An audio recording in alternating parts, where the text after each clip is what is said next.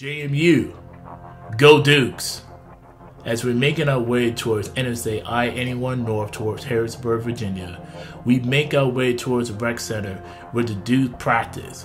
Now let us pay our tribute to our graduated seniors from last season. We have Mac, Jack, Ellie, Zachary, Ben, Michael, Emma, and former captain Drew Funk. Now, JMU, they're looking to build upon their Final Four run for last season. They are currently tied for first place for the longest active All American streak in consecutive seasons with 10 years and have developed 16 All Americans in their program history. Year in and year out, they are the best that the East has to offer. Don't at me.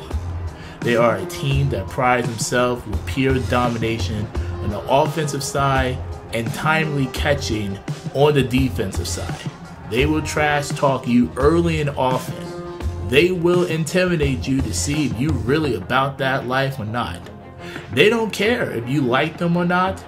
They are not here to make friends. They are here to take care of unfinished business and win the championship for the first time in their program's history. Ball. God! Jesus! God!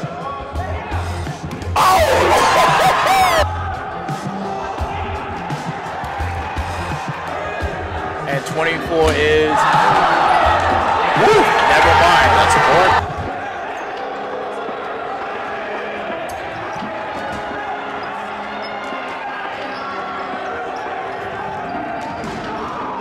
I'm to get some strong catching. And that's another kill. And JMU's up 4-2-0. And the savagery will continue. And it said, put them on their head. Put him on their head. To the 10 count now. Team throw does not connect, but he slides out of bounds.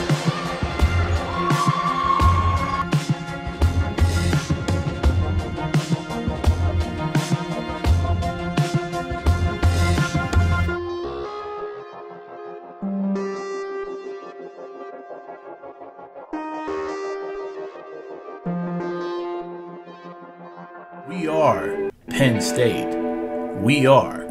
As we're making our way towards Penn State, we are going on Interstate 199 as we are making the turn towards Route 322 East towards Happy Valley. That's right, ladies and gentlemen. We are here at Penn State. It is a beautiful campus, and there is so much beauty along with it. Let's pay tribute to our seniors, uh, Nick, Nicholas. He will be back this season. Brady, Miles, Christian, Noah, and Kevin. As Penn State is getting ready for the season, coming off their Elite Eight performance at Nationals. However, they feel disrespected by the NCDA with the power rankings, and rightfully so. Let's see what Tom's had to say. I don't know what went into that process. I met the criteria to be selected, but I wasn't.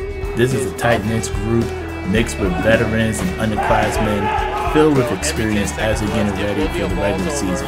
They are a bunch of athletes that pride themselves offensively with team throws and kills from the transition game. Um, they play at a much, much faster pace than the rest of the league, and they're going to need that. They're going to push their way past the Elite Eight into the Final Four and beyond.